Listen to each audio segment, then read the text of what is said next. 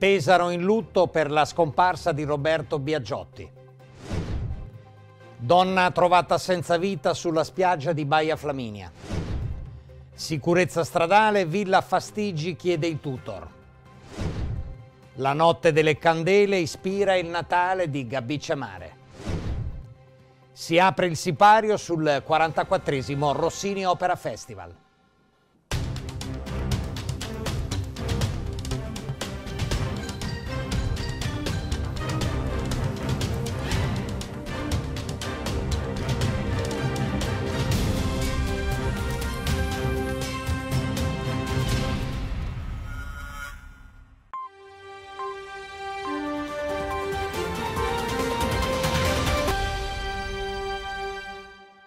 Gentilissime telespettatrici, gentilissimi telespettatori, ben ritrovati anche questa sera, giovedì 10 agosto 2023 per l'edizione di Rossini News che potete vedere non soltanto sul canale 80 di Rossini TV ma anche in diretta sulla nostra pagina Facebook e seguirci anche sulla nostra app in streaming, app che vi invito a scaricare. Partiamo con una notizia luttuosa che ha scosso oggi la politica pesarese. Ad appena 40 anni è infatti venuto a mancare il consigliere comunale e provinciale Roberto Biagiotti. Vediamo insieme il servizio. Pesaro sconvolta e addolorata per la scomparsa ad appena 40 anni di Roberto Biagiotti, avvocato e consigliere comunale, da vent'anni impegnato costantemente nella vita pubblica cittadina. Biagiotti è venuto a mancare oggi in seguito a un tumore che a pochi mesi dalla tremenda diagnosi lo ha strappato all'affetto dei suoi cari. Quelli di una famiglia che Roberto aveva da poco felicemente costruito con la moglie Cadia e il figlio Nicolo Alberto di appena due anni. Roberto ha combattuto con orgoglio e dignità la malattia alla stregua delle tante battaglie condotte nella sua professione di avvocato e di politico. Attualmente era sia consigliere comunale a Pesaro che consigliere provinciale. Proprio in provincia oggi è stata issata bandiera mezzasta in segno di lutto. Quello di Biagiotti è un impegno politico cominciato già nel lontano 2004 da consigliere di circoscrizione a Novilare Candelara con Alleanza Nazionale, poi l'elezione a consigliere comunale di Pesaro già nel 2009, vedendolo militare nelle file del centrodestra, dal PDL alla Lega, fino al passaggio dello scorso anno al gruppo misto.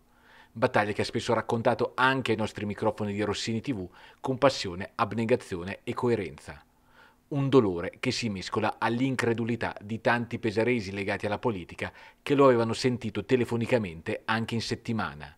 Sui social è un florilegio di ricordi dei tanti esponenti di centrodestra che lo hanno accompagnato in queste battaglie, così come commosso cordoglio è stato espresso da chi è stato solitamente avversario dall'altra parte della barricata, da Ricci a Vimini, da Paolini a Bellucci.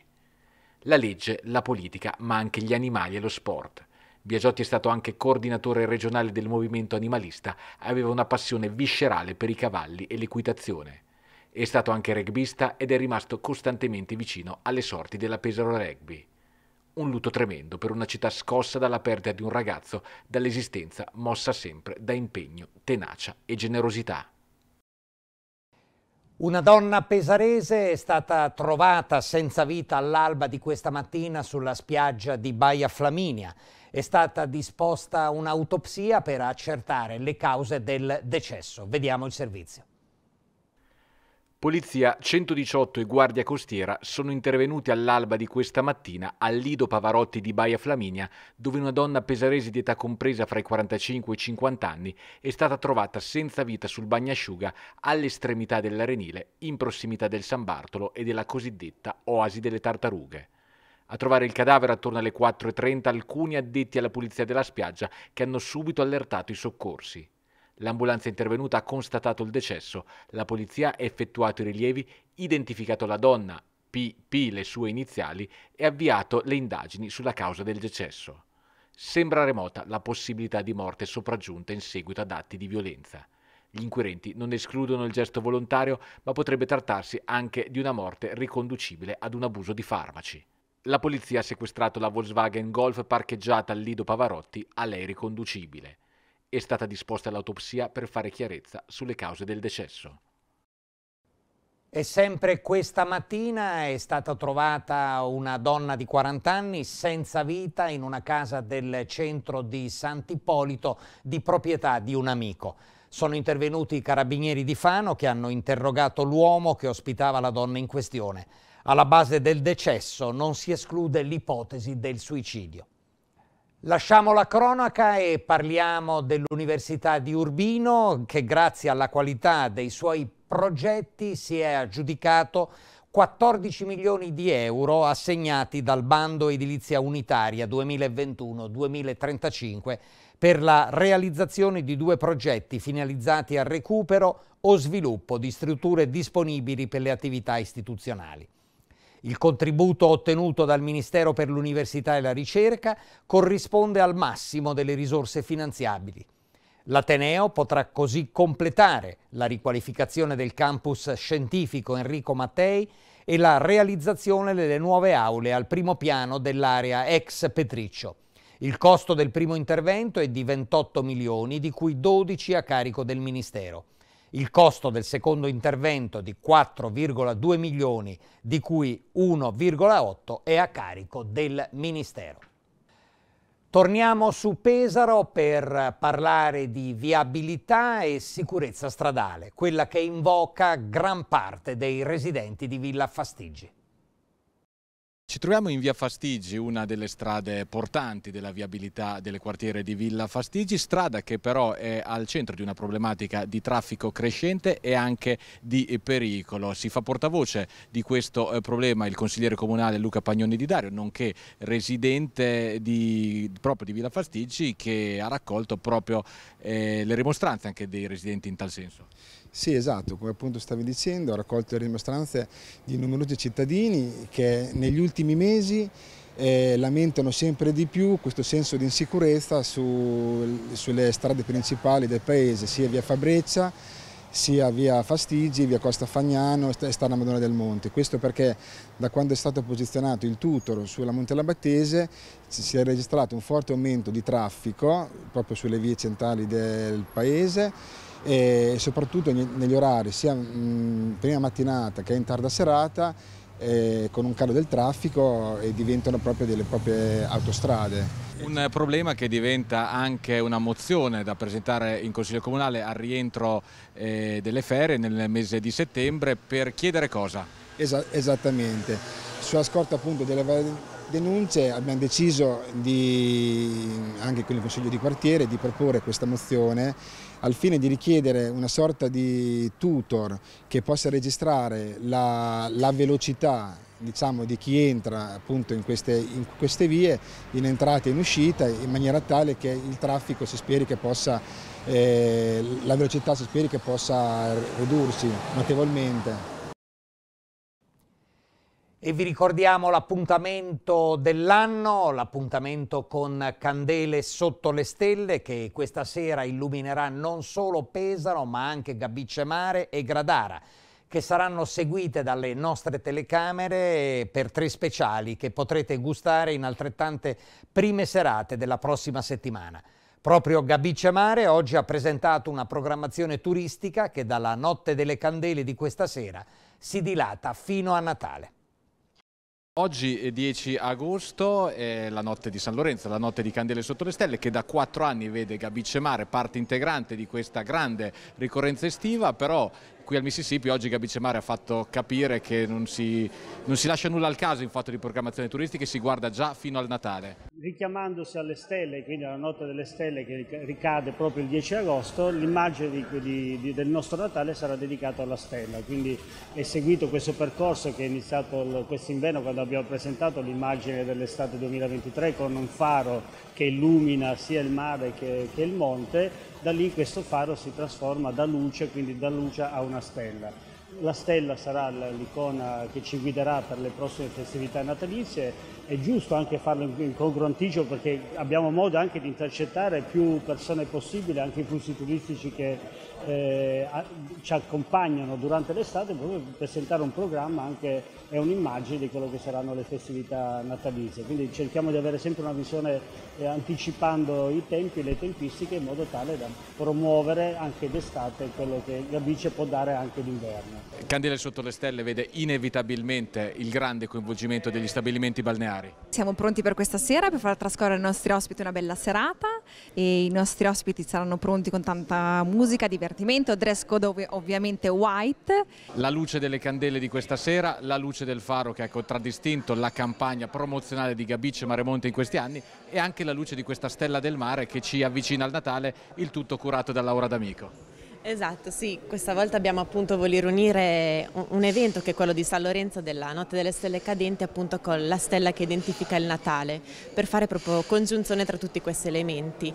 Il faro appunto che è stato presentato nella campagna estiva conteneva già questo piccolo elemento che è la nostra ginestra, che è la nostra stella che fa parte appunto del mondo più diciamo eh, della natura, quindi del monte, ma che si congiunge questa volta con la stella che per noi è anche la stella del mare. E la stella marina insieme alla stella del monte, intesa come Ginestra, si uniscono per portare luce a tutti i territori, non solo a Gabizia, ma anche quella che sarà Pesaro della Capitale della Cultura 2024 e tutti i territori limitrofi. E domani 11 agosto si apre il sipario sulla 44esima edizione del Rossini Opera Festival che fino al 23 agosto prevede tre opere poco frequentate del repertorio rossiniano, due cantate di rara esecuzione. Il Festival Giovane, sette concerti lirico-sinfonici e la Petite Messe solennelle conclusiva.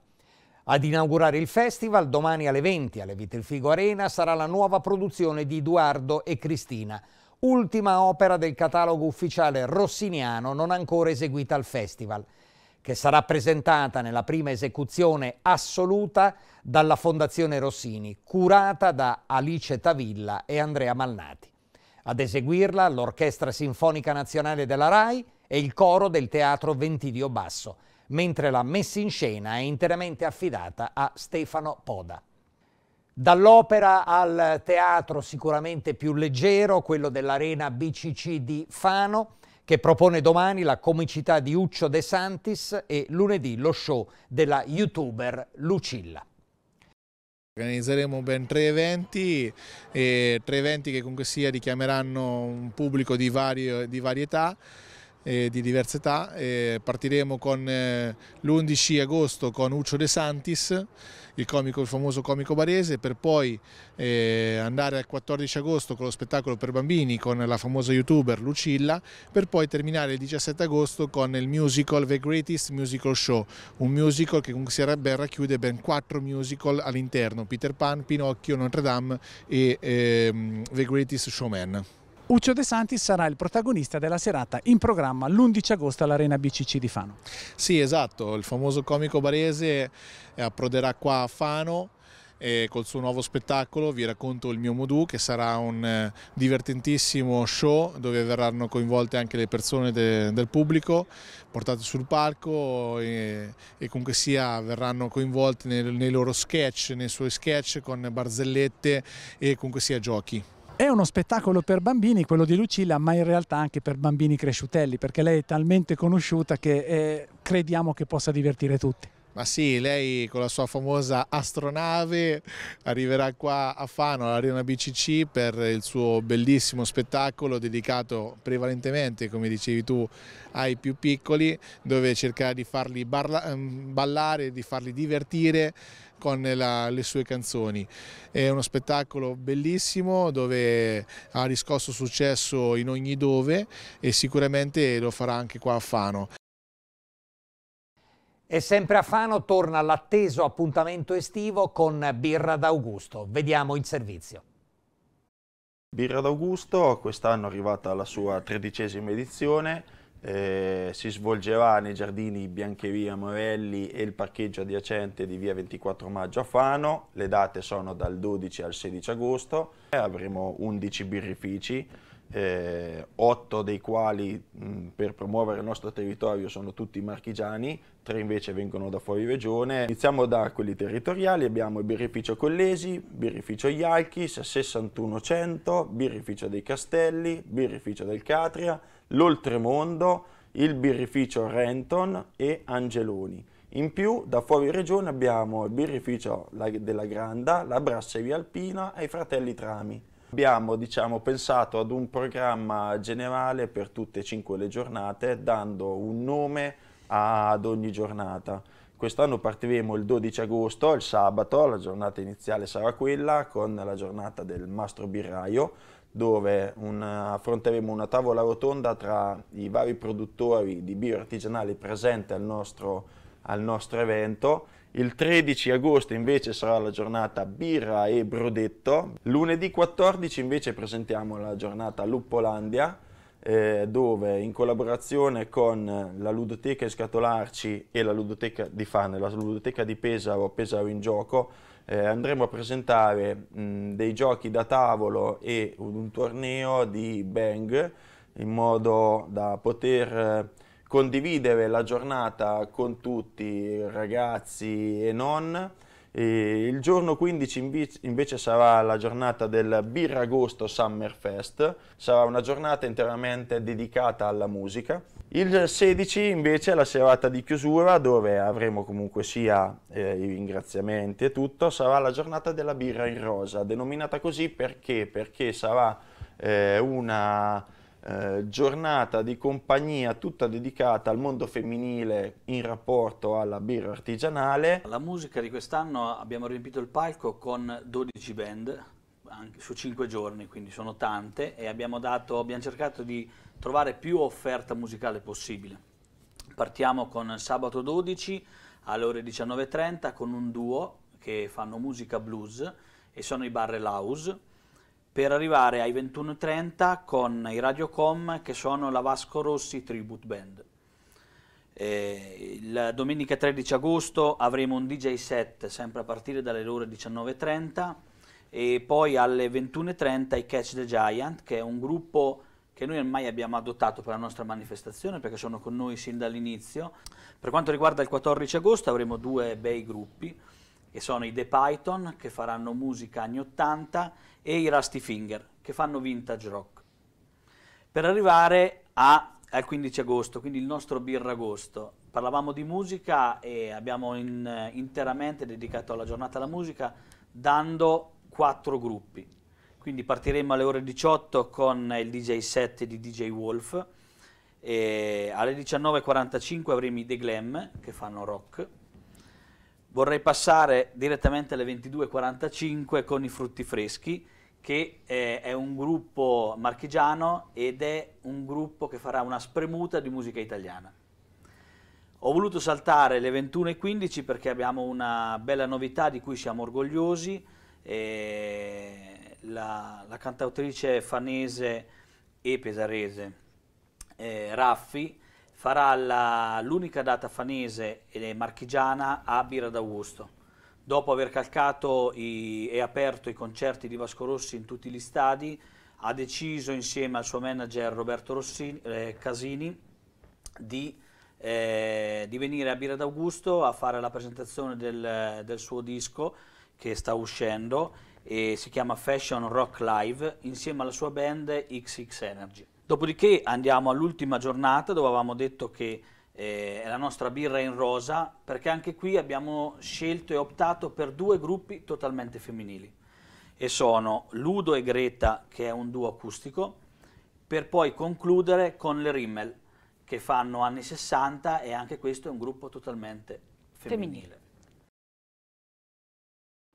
Siamo giunti in conclusione anche questa sera dell'edizione di Rossini News. Prima di congedarci, vediamo insieme il palinsesto della nostra emittente. Questa sera alle 21.20, Limitless, pedalando oltre se stessi, la presentazione del docufilm su uh, Zico Pieri, avvenuta il 7 agosto alle ore 21, una proiezione presso il mercato coperto di Piazza Garibaldi a uh, Cagli. L'appuntamento con l'informazione, come sempre, con la diretta anche Facebook della nostra rassegna stampa, l'edicola quotidiana Buongiorno Rossini, lo ricordo, domattina alle 7.20 puntualissimi, con le repliche alle 8.20, 12.20, 14.20 e 18.20. Non mi resta che lasciarvi alle previsioni del meteo e augurarvi una bellissima serata, una bellissima nottata sotto le stelle cadenti con la Notte delle Candele e ovviamente con le celebrazioni di San Lorenzo. Buona serata a tutti.